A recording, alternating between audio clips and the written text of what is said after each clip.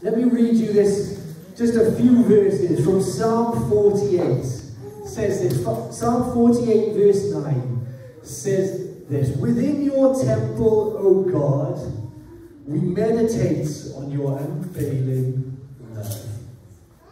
Let me read that again. Within your temple, O God, we meditate on your unfailing love. I don't know as you come in this morning what you could be meditating on. Anyone meditating on England winning this evening? Come on. Come on, I'm sorry I had to bring it up. I had to say something. Come on. Come on, Harry. Score a goal. Come on, Raheem. Come on. Danny. Come on. Gareth. Southgate. Come on. We won't meditate on that. Hey, whatever you're going through this morning as you come into this place, why don't we make this a place where we meditate on God's unfailing love for you and for me? Maybe you've got this morning, thanks Derek, as you come issues that you just think, oh man, I'm not sure what to do. Maybe things just go over and over in your mind, and how do I deal with this? Maybe you're not sure about the week to come and all it's going to bring. Maybe there are uncertainties, but how about this morning? In God's temple, Amen. we meditate on His unfailing love. Heavenly Father, as we come this morning, I just ask for every person here this morning, as we have things that are probably playing in our minds, things that are perhaps preoccupying our thoughts, that today, July the 10th, 2021, would be known for us meditating on your unfailing love for each for us. In Jesus' name.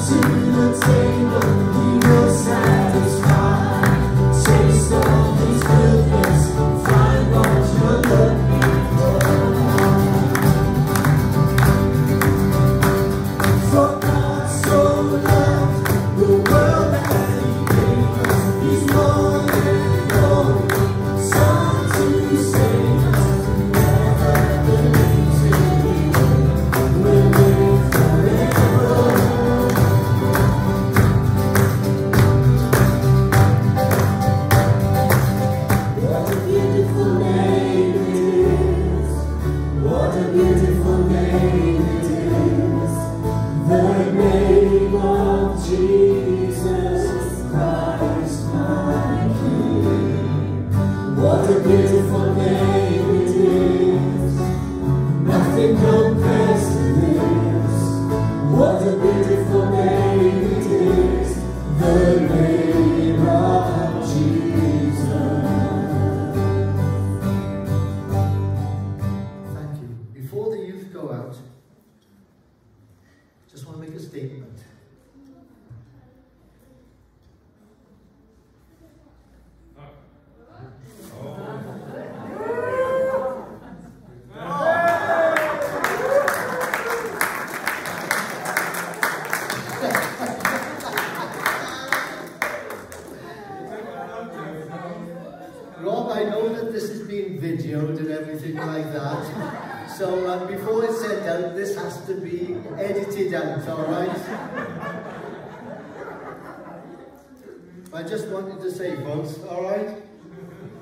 I'm, su I'm supporting England tonight. I, I know I might be fickle and shallow, all right? I support Wales when it comes to rugby. But if I supported Wales when it was football, life wouldn't be very exciting, would it? so tonight, folks, I will be there watching television from 8 o'clock onwards, from before that, and cheering for England. Come on, Harry! Harry! Rob, you can have my shirt. you please leave. That's great. Excellent. I didn't speak last week. Thank you to Paul for speaking uh, last week. Paul, Evelyn and I were away on holidays. Uh, ne next Sunday, Robert and his family are away on holidays. So uh, we're into that season a little bit uh, at the moment. But uh, fortnight ago when I, when I spoke, I started to speak about the now journey. The now journey of the Christian life. And we said how so many Christians, you know, eh, look back to past days and somehow or other, you know, there's nothing today that can measure with that which was. We, we quoted, didn't we? Mary Hopkins. Those were the days, my friend. We wish they'd never end, ended, you know. And on the other end of the scale, there are, there are people who um, uh, look, uh, they're always looking into the future. And I've got this thing, well, sometime, somewhere in the future, things are going to be better. And uh, they're waiting for that day to come and sometimes they reach out to that day and in a sense, for some uh, reason, it's as though as they go to grasp it, you know, it's gone. And living in the present is hard for them. Now, I understand that to some degree, folks, in the sense that, you know, um, fear stops us enjoying the present, present, doesn't it? You know, uh, maybe even guilt about certain things can stop our enjoyment of the Christian life.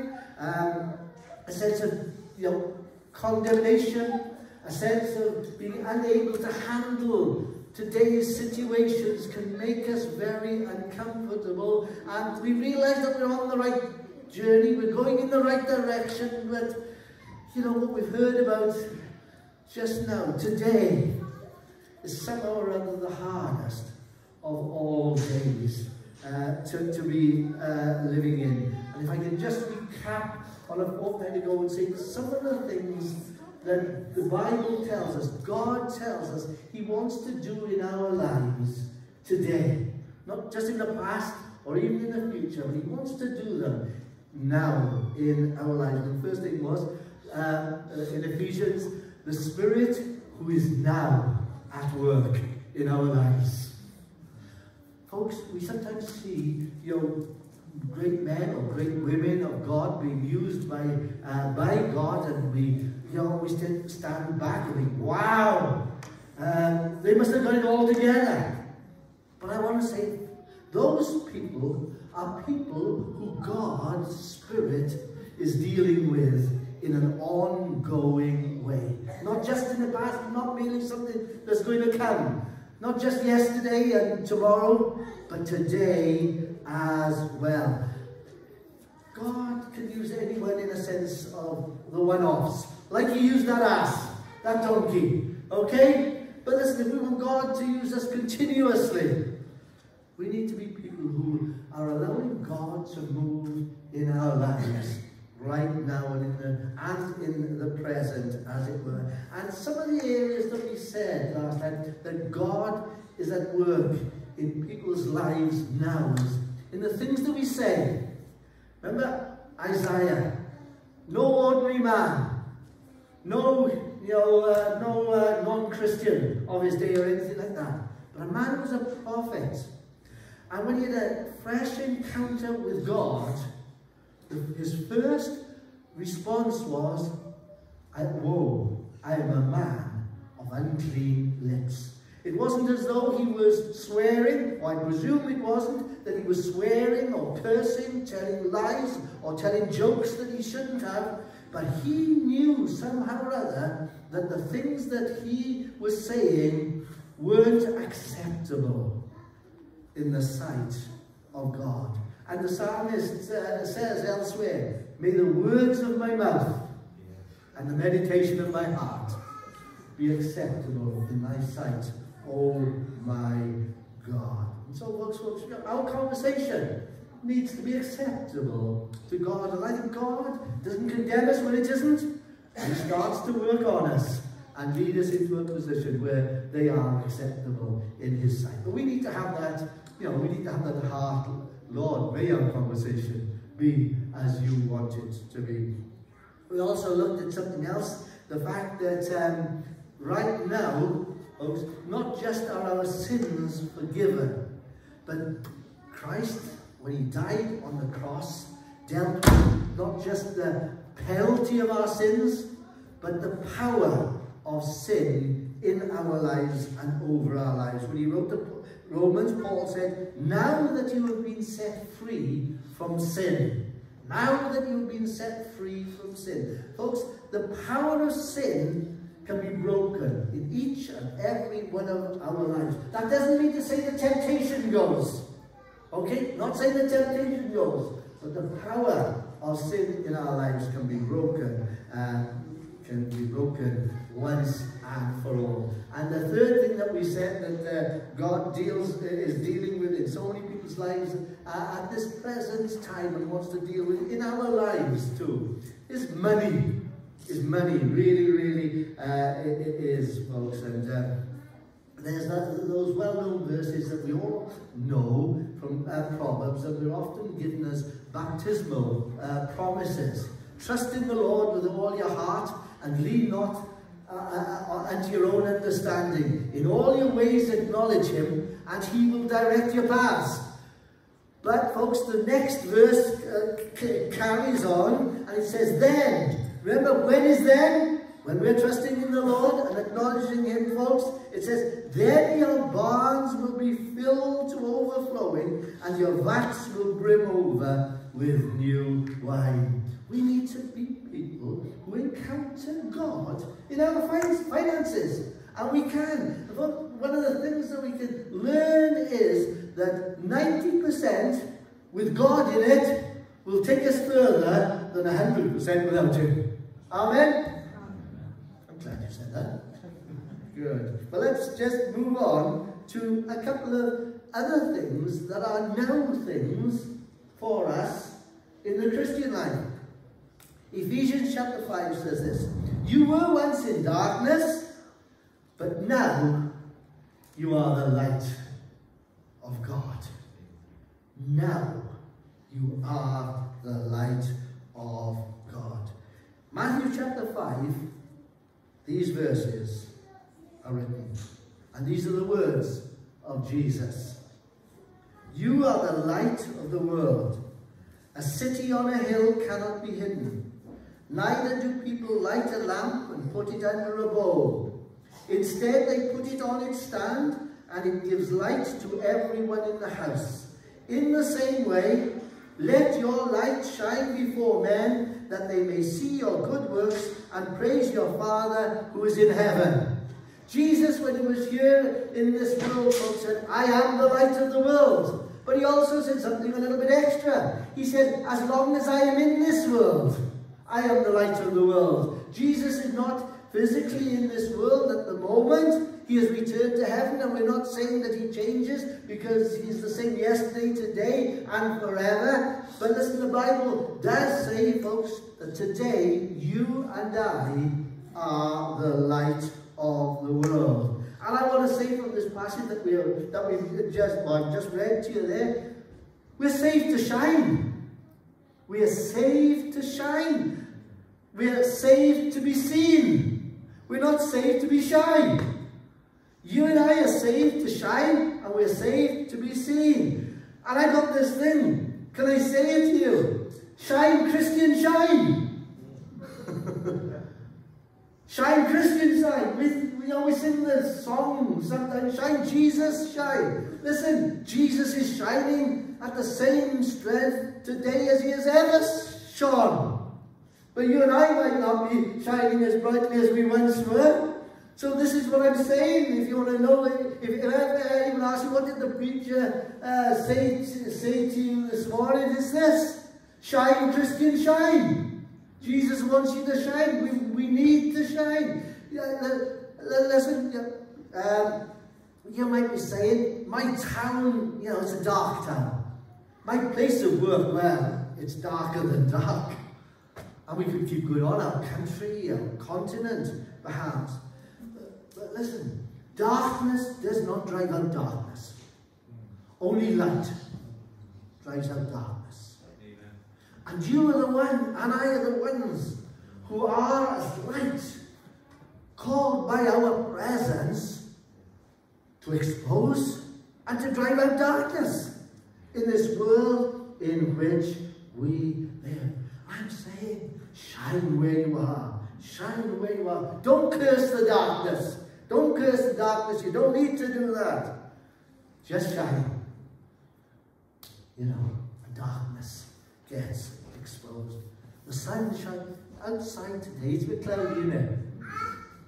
But above the clouds, above the clouds, beyond the clouds, the sun is shining exactly the same as it was shining yesterday. It's still shining uh, uh, to the same degree as it'll be shining tomorrow and the day after and the week after that and, and, and, and continuously. The thing that sort of makes it not uh, appear so strong today, it's the clouds. And in our lives sometimes, you know, there are a few clouds around, aren't there? Clouds of worry. That, you know, some or other doesn't, uh, you know, puts a, a dampener perhaps on us shining. Do not worry, do not be anxious, the Bible says, about anything, but with prayer and supplication uh, uh, and with thanksgiving, let your requests be made known unto God. If I was, if I was writing the Ten Commandments, what would you think if I wrote the Ten Commandments? Don't have to answer that. If I was writing the Ten Commandments, I'd put in a, an eleventh in. And the eleventh would be, don't worry. Don't worry. Because worry stops our enjoyment of everything that you know God has got uh, as, as God uh, for, for us. And can I also say, it's warmer when you are out in the sun. It won't happen today, but very often when we go out after the service and have a one-way system due to uh, restrictions and things like that. You know, we're out there in the morning and the sun is in the east. It's shining towards the west. And uh, if you go the other side of that sort of passageway down there, you're in the shadow. If you stand this side, generally speaking, you know, the sun is shining on you, and it's a lot warmer this side in the sun than it is the other side out of the sun. Okay? And uh, it's, it's, it's, just a fact, really, that is, isn't it? And can I say for us as Christians, folks, you know, we need to be mixing with people that uh, are, and living off people who are shining strong for Jesus. If we are living away from people like that, we get pulled down rather than lifted up. Remember the story in Numbers, uh, Numbers 13, yeah, of the 12 disciples going. Uh, no, not the 12 disciples. the 12 spies going out to spy. that was my deliberate mistake today, all right? Might be some more, but the 12 spies going out to, to Canaan. We say a 10 were bad and the 2 were good. Don't know, it was quite like that. But the 10 came, all came back and they'd all seen the same thing. The ten didn't see something different to the two. The two didn't see, see something different to the ten. The ten came back and they said, God, we'll never take it. There are walled cities. There are giants. They're stronger than we are. We're, you know, we're grasshoppers. They're giants. They were right. They were right. But what they were right about was contrary to the promises of God. And the two were tapped in to the promises of God, not what they saw with their eyes.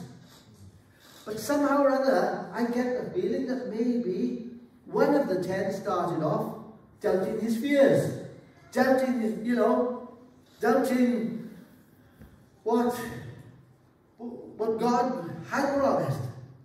He was talking to number two and number three, and you know that negativity spread.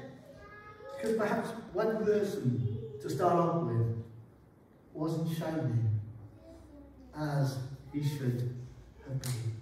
Folks, we need to be part of the crowd of people who are, are of those who are shining for Jesus and experiencing something of uh, hope and expectation.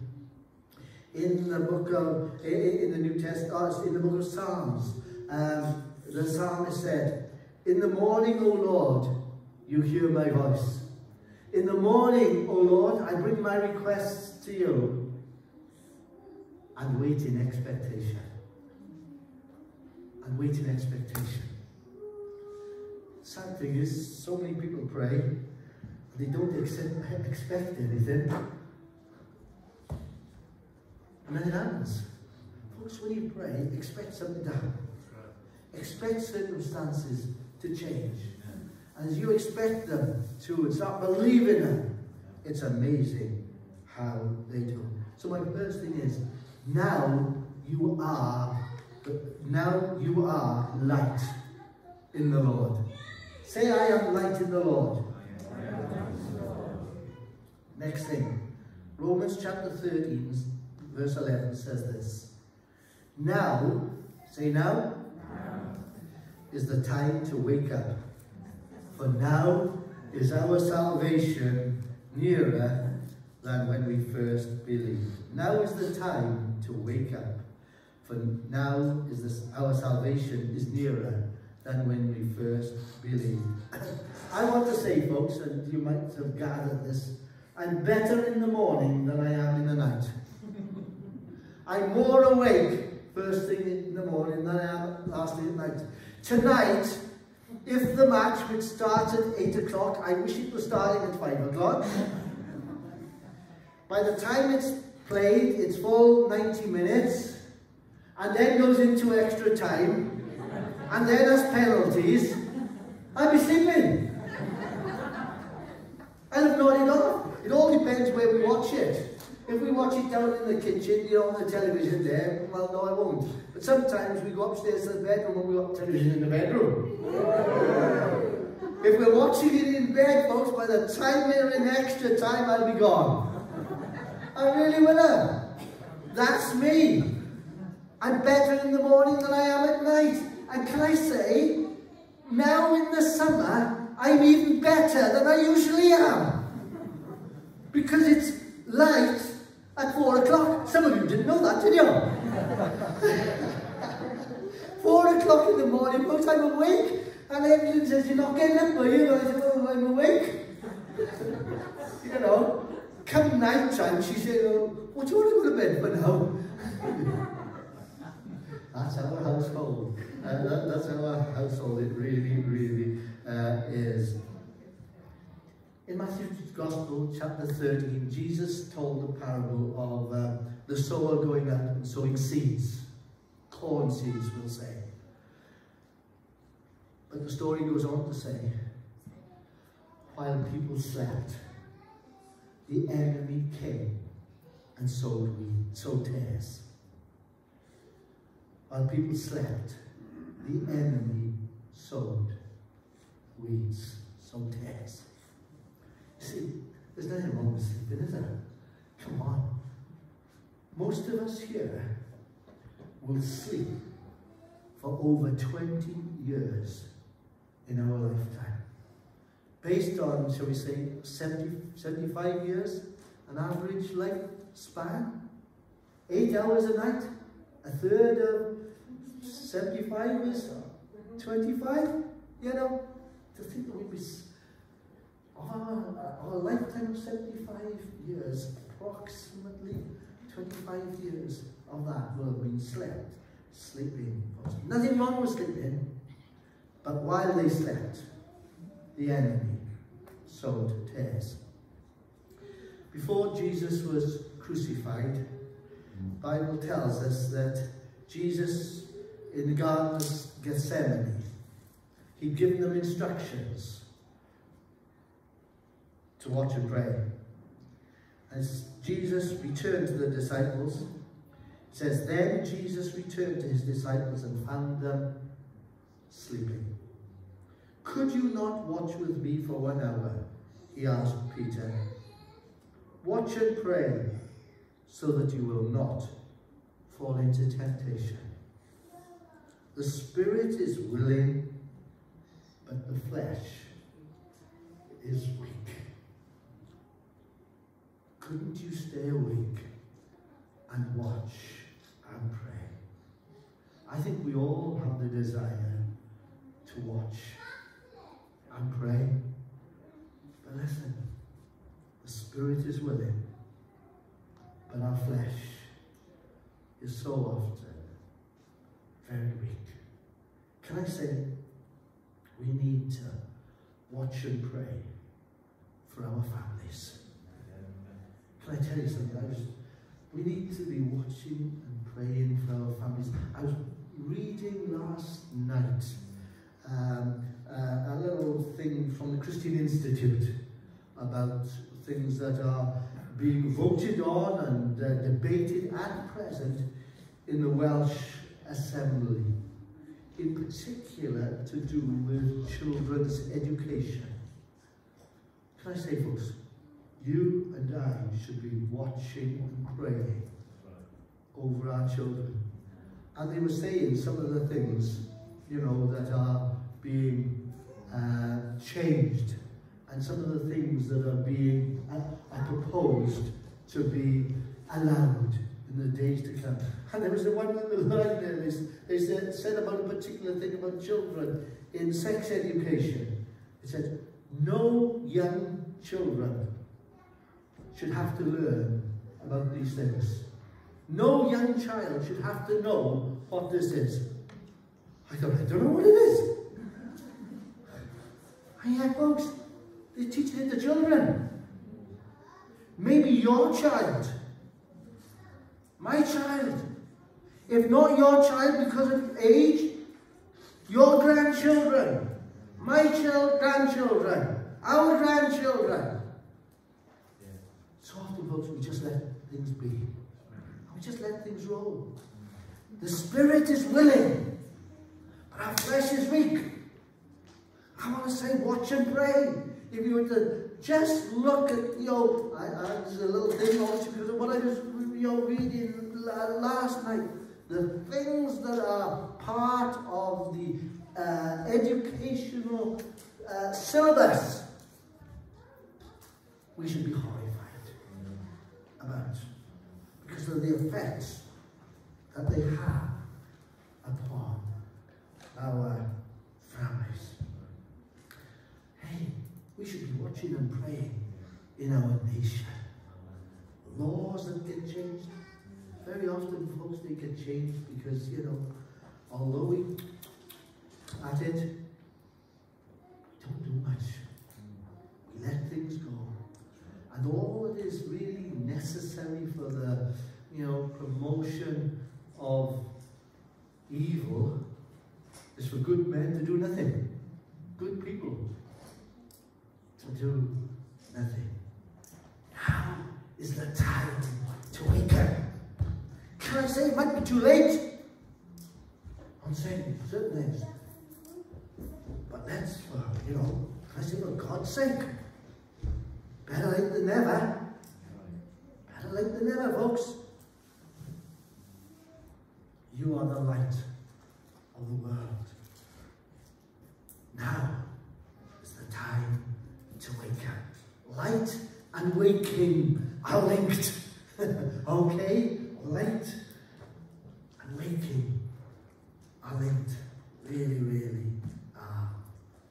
Back to our little passage come to a conclusion. Matthew chapter 5, where it starts to talk about a city set on a hill cannot be hidden. In other words, folks, when we do life together, when we do life together, rather than individually, the light shines that much. You might think, well, it's easier doing life together. Well, sometimes it is. Can I also say it's sometimes harder to do life together? harder doing life together sometimes than it is doing things, you know, on our, on, on our own. Doing things, life together is important, it's essential. That was the final session of Alpha this week. The importance of church, the importance of the, the, the local church. And Henry Ford once said this, coming together is a beginning, keeping together is progress, thinking together is unity, working together is success. And you know, it's often when we start working together that it gets harder. Church life, Christian life. But that's, folks, when God uses one another to mature us. Not, uh, not uh, that we remain some sort of spoilt individuals, used to having our own way, but that we come together as part of the maturing process that God has for us. Let's stand.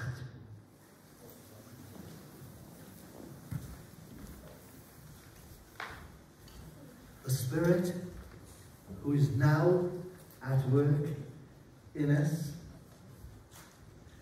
now that you have been set free from sin and sin's power, now that we can begin to experience and encounter God in our finances. Now we are the light of the world, not when I'm older or when I'm more mature. Now I am, you are the light world. Now is the time to wake up. And a city set on a hill cannot be hid.